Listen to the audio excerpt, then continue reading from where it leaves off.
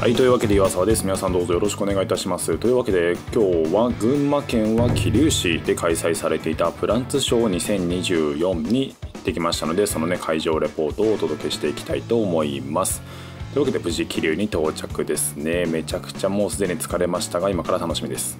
はいというわけで桐生駅に到着いたしました。片道ね3時間くらいかかったんじゃないかな。結局ねあの新幹線使う電車で全部来たのでそれくらいかかってしまいましたね。結構疲れましたね。これからねあの会場5会場くらいあるのかな。遠いのでそれぞれね回ってちょっと植物ある楽しみたいと思いますはい、というわけで今回の会場は桐生市駅前の商店街にあるみたいですね。桐生の、ね、駅の前の商店街にいろんなお店があるんですけどそこのね店舗をこう場所を借りて植物の、ね、イベントをやってるみたいなので結構ね会場いくつかあるみたいなんですよ。なのでねちょっとそれぞれ1つずつ回っていきたいと思います。でね商店街歩いていたら植物がねディスプレイされてるお店を見つけてついついねそっちに立ち寄ってしまいました。グラキリスとかねホリダとかいくつかありますよね。でねこれ後から聞いたんですけどハンドラーというですね刺繍のお店でちょっとね実は見つけられなかったんですけどプランツショーのね会場でも出品されていたみたいですね。そしてね毎日でビビったのがよく見たらね奥にホリダスがいるんですよね。しかもねめちゃくちゃ開墾部ドブというホリダスがいてとてもかっこよかった。外観はこんな感じですごいね歴史のあるミシンを現役で使ってらっしゃるみたいです。桐生ね初めて来たんですけど面白そうなねお店がたくさん商店街並んでいましたね。いうわけで1つ目の会場のザ・コーナーさんに到着です。入り口植物を並べていたのはグリーンバッカーさん。その名前の通りですね植物バカということで植物種はもちろんなんですがその育て方であったり樹形っていうのにもねすごくこだわりがあるということでね面白い話たくさん聞かせていただきました。アンディコラアンディコラあの花の色もなんかすごいなんか深いワイン色っていうか、へ茶色っぽい感じです。ちょっと原種に近いのかな。なるほど実が？あこれ実なんですね。これえー、かわいい。これがピンポンの木の実ですね。かわいいよね。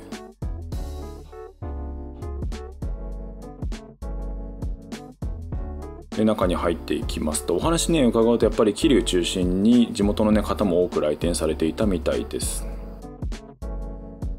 壁にはね愛ママさんの美学師だたちが並んでおりましたねこちらはね育てやすい入手しやすいお手頃な入門種みたいなところからコアな種類までねちっちゃいのものから中株のものまで並んでいた印象です。おそらく板付けされているこれ板全部ね愛ママさんのオリジナルの板だと思うんですけどねそれがまたかっこいいんですよね。このディスプレイさせたくなる欲っていうものを高めさせる板付けですよね。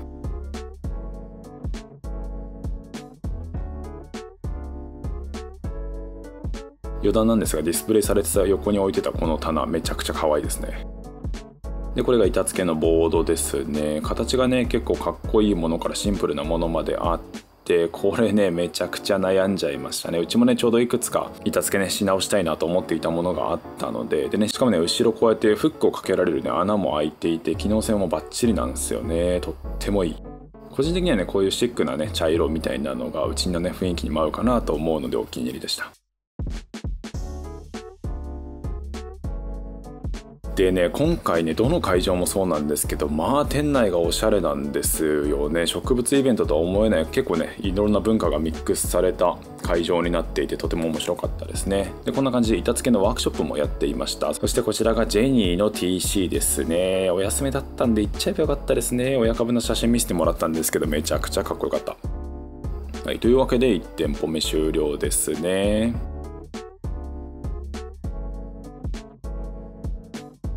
いうわけで早速あいももさんのところでいただちゃいました。なんかこれいいですね。なんか一つのお店で終わらないでその街に歩きながら次の植物のねお店に行くって結構新しい感覚だなと思ってちょっと楽しいですね。というわけでまたね次の会場になっているお店に向かいたいと思います。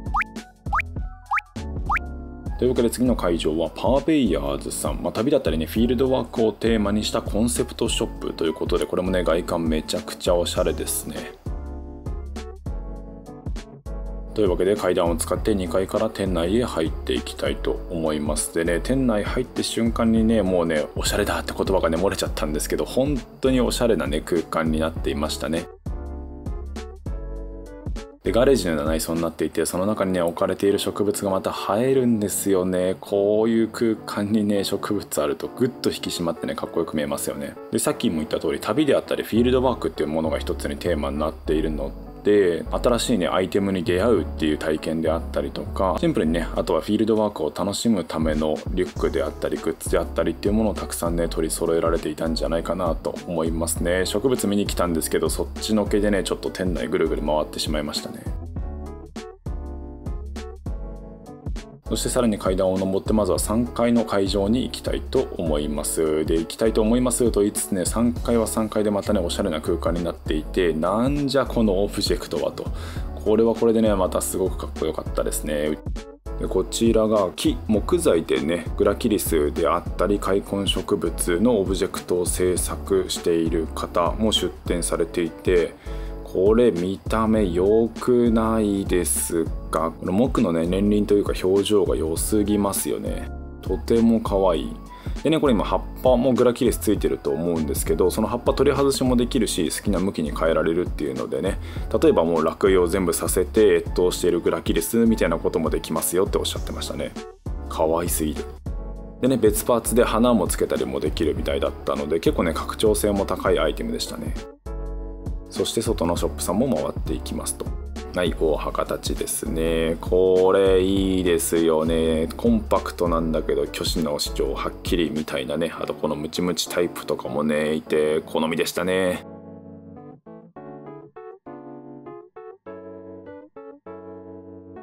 これの瀬尾清桜もね形綺麗なんだけどすごいねお買い得でしたね。ノーネームもムチムチで可愛い。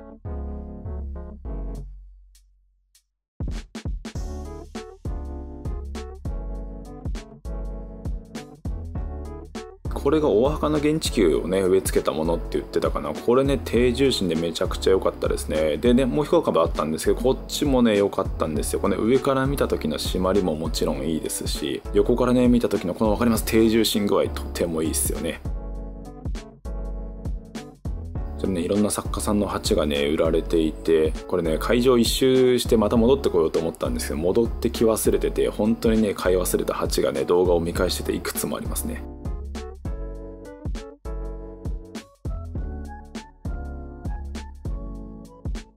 これがギガスのブラータですね。開墾部の太さと枝分かれたまらないですね。そして手前のファシクラータ。ファシクラータね実はこれくらいコンパクトのが可愛くて好きだったりしますね。バッキバキの開墾がいい。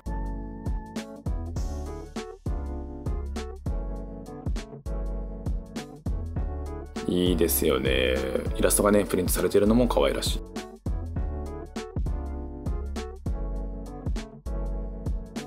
これね詰め合わせパックもいいですね多分ね今から映るであろうこれちっちゃいのねマテリアシクロフィラじゃないかなめちゃくちゃねこんなちっちゃいのあるんだと思って逆に見たことがなかった気がする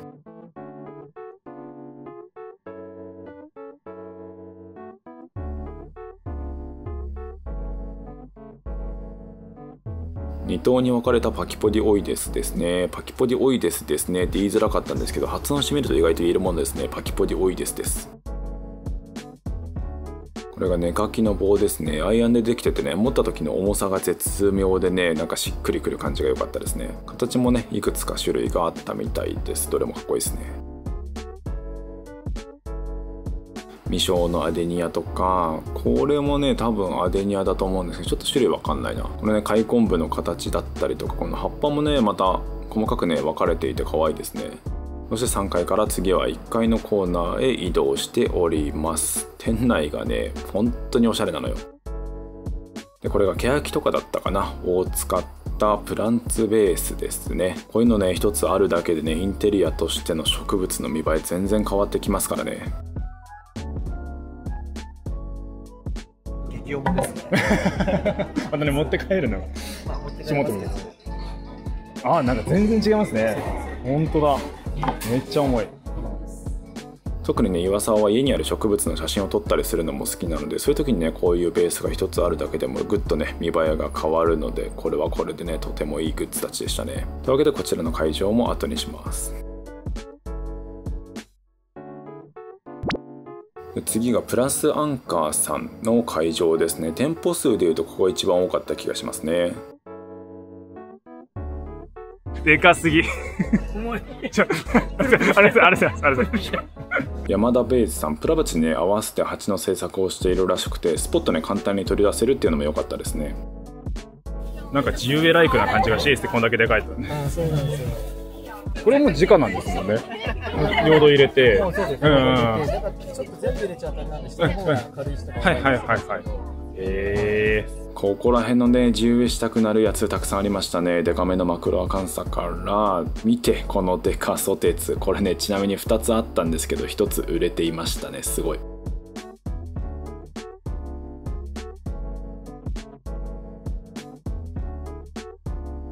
これはねハビタットスタイルといえばハビタットスタイルなのかもしれないですが必ずしもね現地を再現するだけじゃなくてこういう形でね生かすっていうのもね非常に面白いですよね。かっこいい。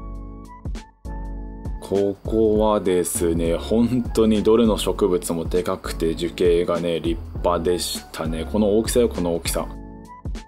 でブーファンもいいよね。このね玉ねぎから緑の葉っぱが出てるの可愛すぎ。これね奥のねこの笹の雪のまとまり具合半端じゃないですよね。本当に悩みましたがちょっとねうちでは大きいのでスルーしてしまいましたがとても良かった。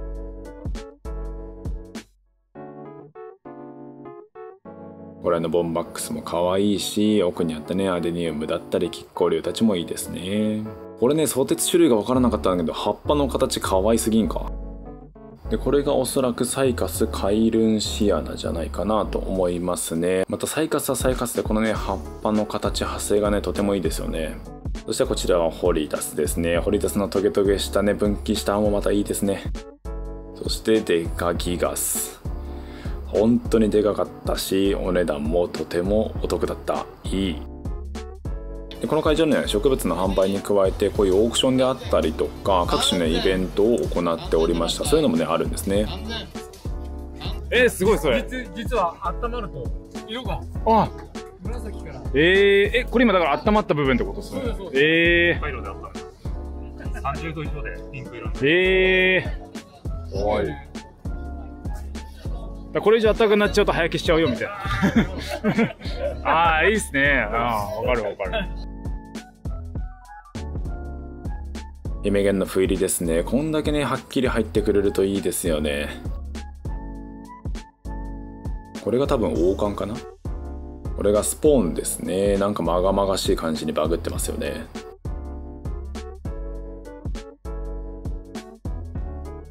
ムチムチなね大きなジャガーの音いいですね。これくらい大きくさせたいな。盆栽たち。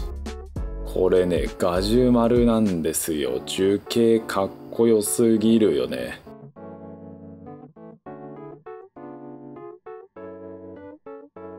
このなんとも言えない深い青みたまらないですよね。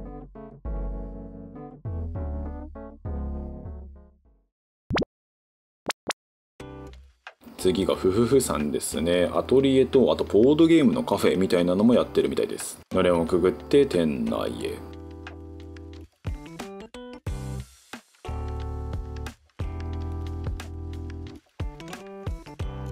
でね、まず会場真っ先に向かったのは、はい、こちら、リバランプランツさんですね。もうこのチャンネルではおなじみかなと思いますが、オベサの専門店さんですね。がね、今回、桐生でも出店されていることだったので、ちょっとね、まずはこちらを見ていました。どのね、オベさんもまたいいですね。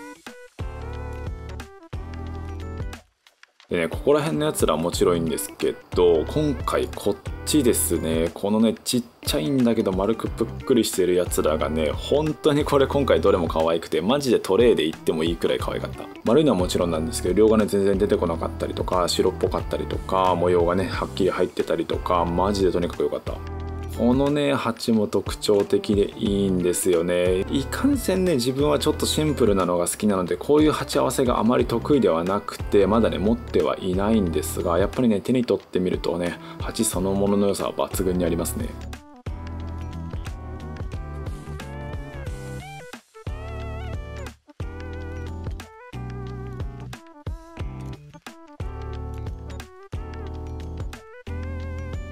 ねブレネームたちとかね可愛かったですね。これ手前に見えてくるのがこれがステファニアかな？ちょっと種類がわからんですが。こちらはケンクラフトさん。逆にねこちらは合わせやすいシンプルなね鉢が多くてありがたいですね。鉢合わせもいいですね。これちなみに水あげると鉢の色がね少し濃くなって色が変わるんですよね。なので中がどれくらいこう乾いてるのか湿ってるのかっていうのを鉢の色で判断できるっていうのも機能的でねとてもいいんですよ。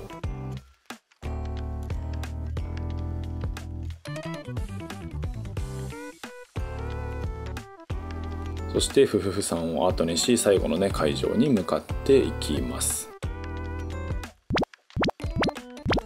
最後の会場は ST カンパニーさんですね。ガラス張りから見える中のね植物たちがもう今から楽しみで楽しみで仕方ないですね。中はねファッションだったりカフェがありっていうところだったんですがその中にねギャラリーもあるといった感じでした。というわけで、ね、まずは植物を販売していたさっきにガラス張りで見えてたギャラリーのところへ向かいます。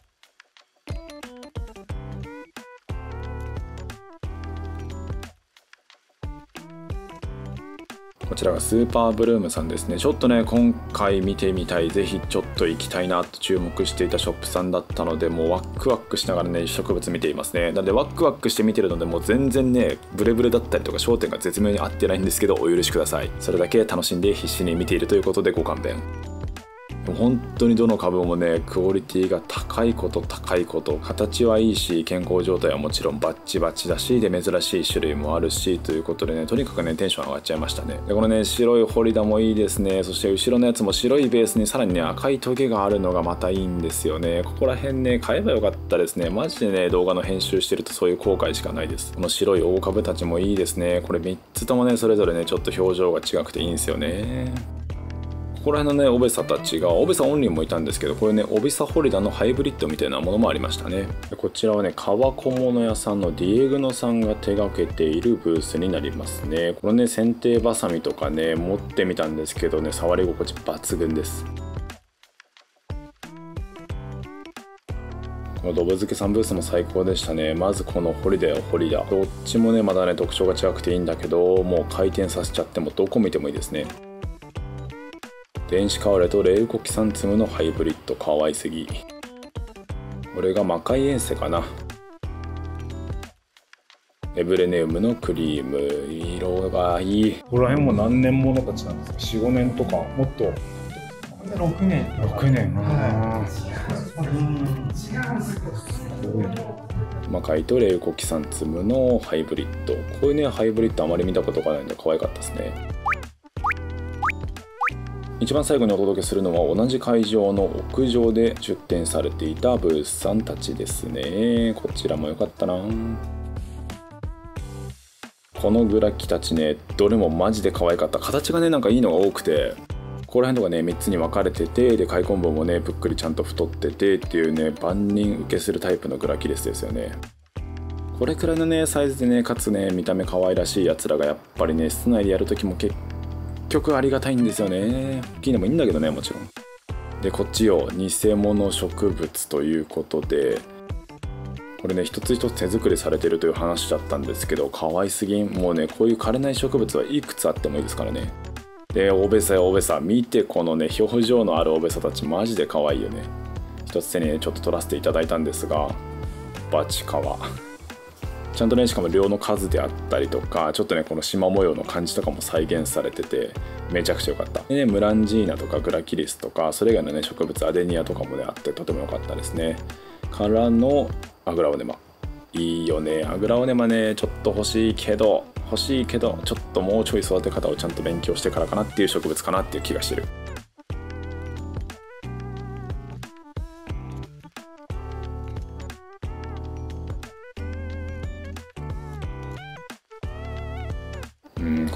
リドレイとかもいいですね。というわけで5つの会場からお届けしました。いやめちゃくちゃ楽しかった。というわけで終わりの動画素材全然撮れてなかったのでここからは早口で喋るんですがプランチショーいかがだったでしょうか？5つのね会場で桐生巡る旅とても楽しかったんじゃないかなと思います。またね来年もあったら行きたいところですね。はい。というわけでこのチャンネルではですねこんな風に一風変わった植物たちとかあとはねイベントの Vlog なんかも撮っておりますのでもかったらチャンネル登録グッドボタンどうぞよろしくお願いいたします。というわけでまた次回の動画でお会いいたしましょう。バイ。